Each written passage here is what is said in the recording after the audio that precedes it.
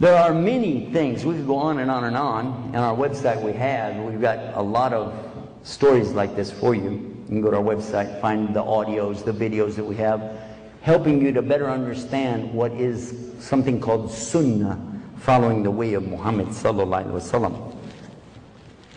But we'll move on and we'll talk about Islam also teaches us the purpose of life and how to get married. One of the things the Prophet taught us, as soon as your children grow up enough, they're old enough to get married, get them married. Oh, there's one we forgot about.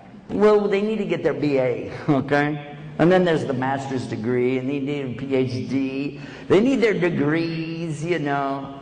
How many of you in here have fallen for that one? Huh? Be honest, come on, man. Yeah, I thought so.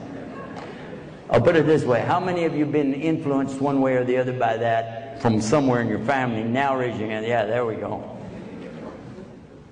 Stuff. You want to get married? Parents say, no, you got to get another degree. How many of you would like to know the secret on how to get real degrees the easy way? Real degrees the easy way. Like to know how? I'm going to reveal it to you now. Ready? Go to the local pharmacy and buy a thermometer. It's loaded with degrees.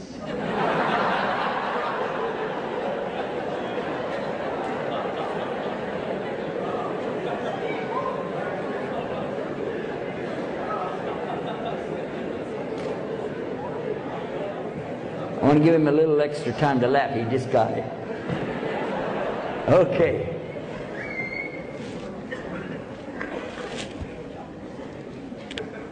Prophet Wasallam, our Prophet Muhammad, peace be upon him, he wanted us to get the kiddos married right away. You know what that does? That helps a lot.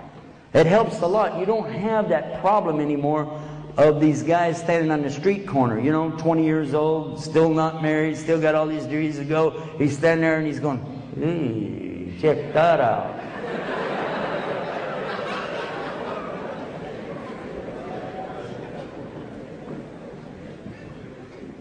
Now, Ali radiallahu anhu told us, if I'm not making a mistake, I believe that he told us that Muslims are allowed one look. You can get one look because you need to know, you can't just walk in and bump into people. So you can look up, you know, okay, that's a woman over there.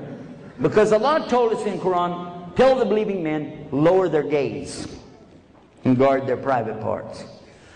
So one day we're standing there, right? Some of us, you know, and all of a sudden, one of the brothers, he's going. And we go, Abdullah, what are you doing? He said, Don't bother me, I didn't blink yet. One look. uh-huh. Let him get married. Come on, that's what Islam is about. It's not just saying, well, that's a sunnah. No. That's what it means. That's what you're supposed to do. That's your purpose. Say, well, uh, my kids will never get rich and be able to give me that big house that I need. Oh, okay. Is that the one that you're buying on credit with a riba attached to it that you got a fatwa for? Okay. Whoops. Whoops. Yeah, right.